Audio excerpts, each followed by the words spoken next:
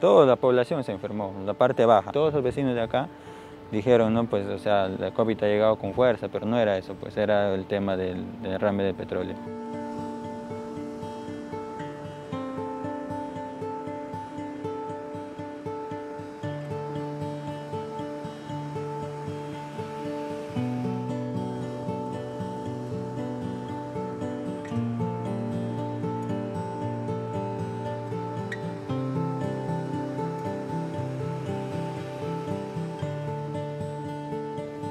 Lamentablemente los vapores del hidrocarburo fue inhalado por niños, por mujeres, por ancianos que presentaron vómitos, presentaron ardor en los ojos y presentaron problemas pulmonares en los días posteriores, porque nadie se imaginó que era un derrame de petróleo, tanto así que al día siguiente salí a hacer mi faena de pesca a 200 metros de la orilla nomás y empecé a llegar el petróleo. Gracias a Dios mis amigos salvavidas estaban esperándome porque vieron que yo estaba saliendo medio raro por el proceso del desmayo. Llegué a la orilla y tuve que echarme como 30 minutos para descansar. El mismo día sentimos dolor de cabeza, no, no podíamos estar en nuestra casa porque era fuerte el olor. Nos dolía la cabeza y había momentos en que nos mareábamos. Todo lo que vivimos por acá sentimos eso.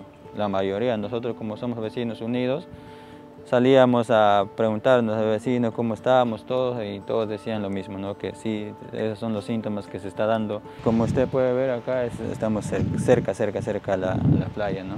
Esta era nuestra vida pues, de nosotros, acá nosotros pescábamos.